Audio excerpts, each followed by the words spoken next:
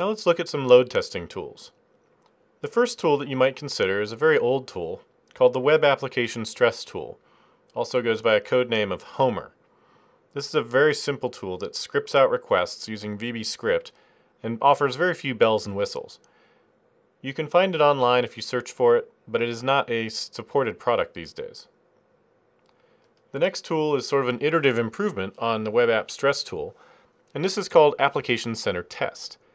Microsoft Application Center Test shipped as part of Visual Studio 2005 on some of the shipping SKUs, the higher level ones. Application Center Test is very similar in terms of how it works to Web App Stress Tool, but it offers much better usability and the ability to capture performance metrics. Unfortunately, it does not ship as a separate product, so the only way that you'll probably be able to get your hands on it is to install Visual Studio 2005 for instance, the Enterprise Architect Edition. If you want to look at one of the premier testing tools available that's outside the Microsoft space, then LoadRunner is certainly a tool that's worth considering. If your organization already uses LoadRunner, you may consider it for your load testing needs, since it is a very mature and full-featured product.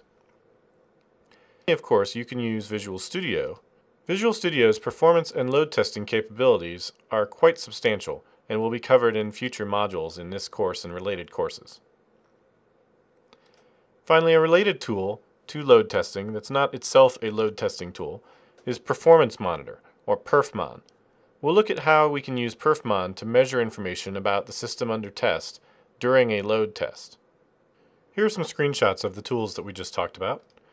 You can see the Web App Stress tool, obviously a somewhat dated UI. Then there's my Microsoft Application Center test.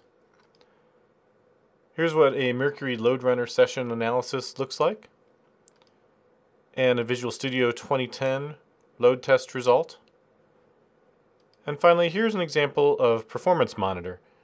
This is an example that's running on Windows 7. The UI is similar on Windows Server 2008.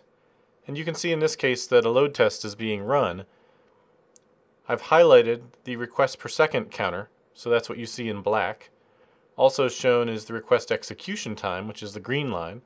And the red line above is actually showing the processor, you know, the CPU percentage.